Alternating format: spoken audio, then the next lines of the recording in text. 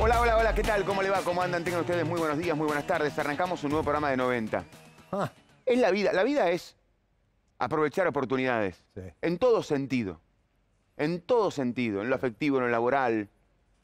Siempre. siempre. Siempre es, la verdad, reclamar la oportunidad y cuando la oportunidad te llega, Estar, preparado. Muy bien. estar preparado para aprovecharla. Pero pasa en todos los órdenes de la vida, siempre.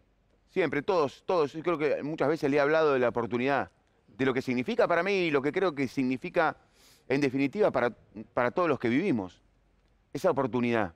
eh, La oportunidad para, para, para ser feliz, la oportunidad para tener un trabajo que, te guste, la oportunidad para ser una figura, la oportunidad, la oportunidad para ser un gran vendedor, la oportunidad para tener el desafío y, y aprovecharlo. Claro, una cosa es exigirla y otra cosa es después aprovecharla. Exigir, creo que todos vivimos, quiero, quiero la oportunidad, dame la oportunidad, todos en algún momento. Y a veces se nos dio y a veces, a veces no, y a veces se aprovechó y a veces no. Creo que nos ha pasado. Sí.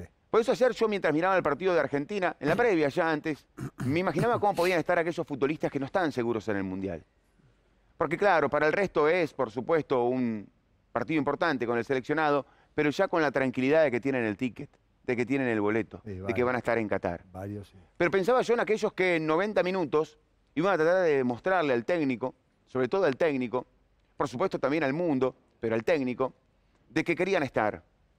De que más allá de que arranquen un poquito más atrás y que estén un tanto rezagados, quieren estar. sí. Y ahí yo me puse a ver, ¿no? El partido. La verdad que vi más el partido enfocado en Julián Álvarez que en el partido en sí. Y sí. Y vi más el partido enfocado en aquellos que tenían que jugarse la chance del Mundial que en el partido en sí. Como pocas veces, como pocas veces, pasó para mi vista más inadvertido Messi, que es el primero que miro. Quería ver al resto. Y quería ver al resto que está saludando. Yo voy, que estaban así. Y me detuve en Julián Álvarez. Qué magnífico este pibe, ¿no? Qué magnífico este pibe grande. Porque es un pibe, pero es grande. Qué, qué- qué- qué magnífico lo de este chico con una experiencia de un veterano. Porque Julián Álvarez, si le mirás el documento y la carita y cómo declara, es un pibito. sí. Es el pibito de moda. Pero si vos empezás a repasar dónde estuvo Julián Álvarez, el recorrido que hizo Julián Álvarez y dónde está hoy Julián Álvarez, no dudás de que lo de pibito es su voz, su cédula y su cara, que es un tipo ya hecho, ya maduro. Que veremos seguramente cuando llegue al City si terminan de moldearlo, ¿no? Y si le dan esa forma de jugador galáctico. Porque para mí Julián Álvarez es un galáctico que, gracias a Dios, hoy juega en la Argentina. Para mí no le falta nada. Bueno, no le falta nada. Le falta, le falta seguramente la experiencia que va a seguir adquiriendo. Claro. Pero no tener esa experiencia para mí no nos inhabilita para ir al Mundial. Yo a Julián Álvarez lo llevo. Lo llevo con los ojos cerrados. Pero lo llevo con los ojos cerrados porque me parece un pibe tan fuerte sí. desde lo emocional. Tiene un coraje, Sí. tiene unas pelotas. El tipo estuvo en finales de Libertadores. El tipo estuvo en la final de Madrid. Y a partir de ahí, su recorrido, es cierto, con alguna ausencia, con algún altibajo, después una vez que apareció, una vez que le dieron la oportunidad y le tiraron la 9 de River la 7, la que use, el tipo no la desaprovechó nunca más. Es el mejor defensor que tiene Julián Álvarez, él jugando. Cuando algunos empiezan a dudar, y pero tal vez le falta eh, rodaje internacional, y pero por ahí lo tienen que marcar jugadores de Europa, y pero por ahí, y él borra todos los por ahí. Él le da certezas a las dudas. Porque sale a la cancha, juega un partido que para él, en la previa, podía llegar a ser pesado, y en la primera que tiene, ¡tac! resuelve. Yo cuando entró la de Julián Álvarez, creo que lo grité más que cualquier gol de los últimos del seleccionado argentino. Ya clasificados, por supuesto, al Mundial. Porque me puse contento por él. Porque estaba aprovechando la oportunidad. Porque estaba, yo creo que todos dijimos en ese momento, va al Mundial, tiene que ir al Mundial, llévelo. Llévelo. Llévelo. Hágame caso, llévelo. Llévelo porque para mí, para mí, aparte de ser el muchachito de moda aquí en la Argentina, es un galáctico que hoy juega en nuestro fútbol. Y que el día de mañana, que el día de mañana seguramente te lo agarra Guardiola y te lo pule mejor. Pero para mí Álvarez, ya al Mundial. Bien. Bueno, Uy, Eh, muy bien, ¿Cómo y aparte Eh. lo que hace. No, el me encanta. Pero pará, pará.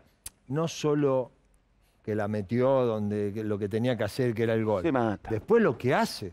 Lo que colabora, Oscar, Lo que colabora, colabora para te el da equipo. opciones. Sí. Te da un montón de opciones. En un momento, chico. yo Sí. ayer le contaba a Dani, y a los chicos, a- eh, lo relaté por radio el partido, y en un momento costaba en la velocidad de la jugada encontrarlo.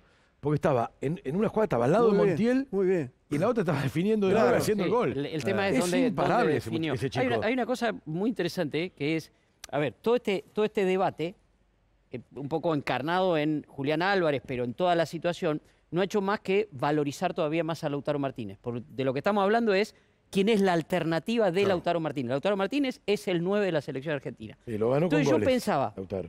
¿Dónde estaba Lautaro Martínez hace cuatro años? Lautaro Martínez estaba siendo figura en Racing, pero iniciando su recorrido. El entrenador del seleccionado iba a verlo, todos decíamos que iba a ir. Finalmente no fue y quedó como un ítem también entre muchos errores que se cometieron. No digo razón de, de lo que pasó, pero sí como uno de los errores.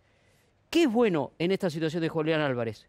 Compararlo con aquel Lautaro Martínez, que después, con todo desarrollado, todos pensamos que debió haber estado en el Mundial, porque iba a pasar esto que está pasando, que hoy es el 9 de Argentina. Bueno, el Lautaro Martínez de hoy comparado con el, perdón, el, el Julián Álvarez de hoy comparado con el Lautaro Martínez de aquel, está mucho más avanzado. Sí.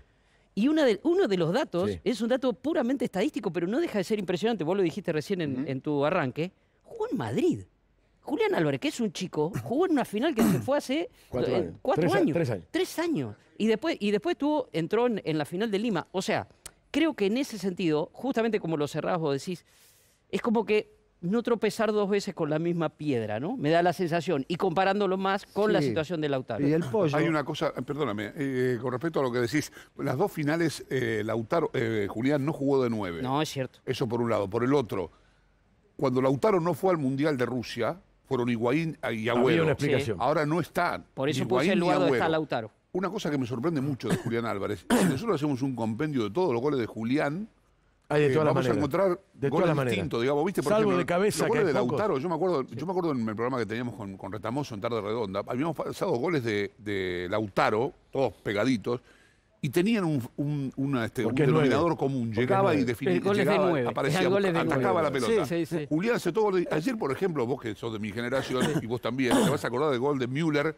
Sí, a Holanda, del 70, al final del Final del 74. 74. Un gol igual, Se vuelta, girando, este, este, poco convencional, después de haber fallado el remate de Suda. Erró el primer remate. Agregale un claro. elemento, chavo, perdón. Este, con los dos perfiles. Primero Claro. definió con un perfil y Y después definió con el otro. Digo, me parece que, a mí me parece que, tenemos una necesidad de Julián Álvarez Ahí y yo creo que el pibe cumple con esas necesidades. Yo creo que está Sí. incluso este, más cerca de Lautaro de lo que Lautaro estaba de Agüero y de Eso. Higuaín. Totalmente. ¿Puedo decir, antes que vayas ahí, puedo decirte algo de. de- me encantó la, lo que estableciste a modo de comparación con dónde estaba Lautaro, dónde está hoy Julián. Después cito más. El estilo de cada jugador, yo creo. A mí no me asusta la comparación, además, porque es con mucho respeto. Estoy hablando de dos grandísimos delanteros. Lautaro es un jugador que ha hecho goles internacionales en, en Champions. Nadie lo va a discutir. Se ganó el lugar que tiene. Para mí, Julián es más completo. Y a la larga. Es ¿Que más. Lautaro? Sí. Sí, sí, porque Ahí- tiene ahí- diagonal, porque corre, porque presiona, porque bien, marca al lado de Montiel. también, eh, Ese jugador moderno, cuando lo pongas en la Premier, cuando juegue, y ojalá, pueblos, ojalá sea Tranquilo. pronto, cuando vos lo pongas. No, pero yo estoy hablando de características. Lautaro nada más. también lo hace, ¿eh? Sí, claro. ¿Qué? Lautaro Correr. también, como- sí, no, sí, no son sí. distintos. Lautaro, es Lautaro lo 9 hace. y este, este no, es no, jugador pero de Lautaro Premier. colabora cuando pierde la No, pelota. no, no dije no colabora. Chavo, de este hecho, chico- este de chico hecho, colabora Lautaro de una manera presiona, pero este chico corre más Sí. metros para presionar. violenta. No, no, no. No, no, no. característica. De. Discutilo, discutilo. No, Cuando este chico juegue en la Premier, vas a, te vas a dar No, cuenta no, de no, esto que te no digo. discuto, tema, no, no no El tema- no discuto a Julián, El- este, discuto lo que No, decís de discutir las Lautaro. características. El Yo creo que Lautaro es más el nueve tema hoy- y este más moderno. El tema hoy o anoche cuando agarraron el avión, que se fueron todos, son los otros que están ahí Este se los come a jugando este chico. en el puesto de. Este chico los pasa a la larga. Son los los otros arriba. que Sí, andan dando vueltas que que decís. Es cierto lo "Ah, que ¿y hizo Oscar". ahora? Me quedo- que afuera yo ahora. Claro,